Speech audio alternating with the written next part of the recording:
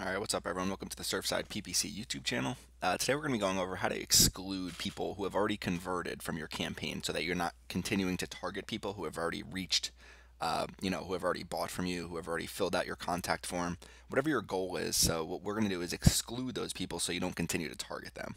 Um, so we're in AdWords here. I have a display campaign here. It's a remarketing campaign and just a regular search campaign.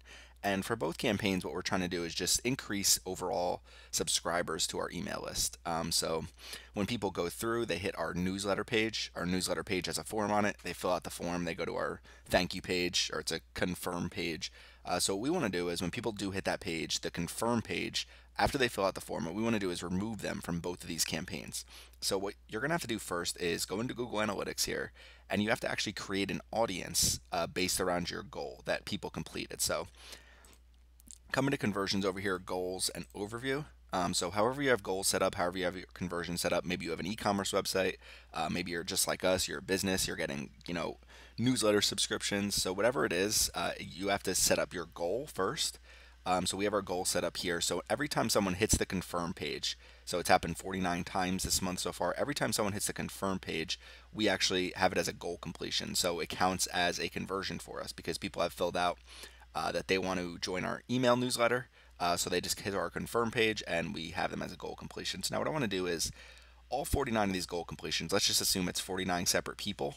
Uh, what we want to do is exclude them from our current campaign so that we're not continuing to target them if they've already reached the goal that we want them to reach. So what we're going to do is come down to admin here.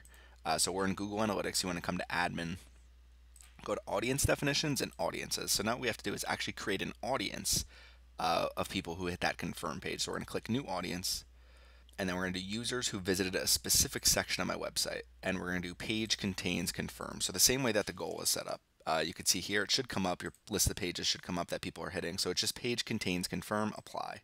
So it's saying over the last seven days, 27 people have hit this page. Um, so membership duration, we want to do it as long as possible. The longest you can do is 540 days. Um, so we want to keep these people out uh, of our advertising campaigns where we're actually trying to drive new newsletter subscriptions for, for, for as long as possible, 540 days. So audience name, what we're going to do is newsletter conversions so that we know people, this audience is people who have already converted through our newsletter. Click next step. Uh, now you want to publish this both to your AdWords account and to your analytics account. So we're going to publish this audience to both. Click publish. Okay, so now it's we have this published into AdWords now. So now we come back into AdWords. You might have to um, just refresh your page just so AdWords pulls in the new audience because we just published it from analytics. So if you don't refresh your page, they're not able to actually uh, pull it in. Okay, so we're at the campaign screen here. So first we're going to go into our display campaign remarketing AdWords. We're at the whole campaign level. You could just click on audiences now. Um, so you click on the campaign, then just click on audiences. Um, so now you can target specific users. So we're saying we want to target all users right now. It's for our ad group. So what we want to do is exclude people who have already converted. So you want to come into exclusions here. Um, so audience exclusions are audiences that you don't want to target, that you want to exclude from your campaign. So we click plus on the audience exclusions, and it's going to be exclude from campaign, remarketing AdWords. And we're going to click on remarketing. And now we want to come down to website visitors, and what you want to do is newsletter conversion. So it'll pull in the people that have converted. So now we have one selected here, newsletter conversions. We're going to click on save. Okay, so newsletter conversions is an excluded audience now. So now we come into audiences. You can see we're targeting our all users audience. So everybody who's visited our website. I'm not sure how long we have that set up, maybe seven days, 30 days. And exclusions, we're actually excluding people who have converted, the newsletter conversions audience that we just made in the previous step here.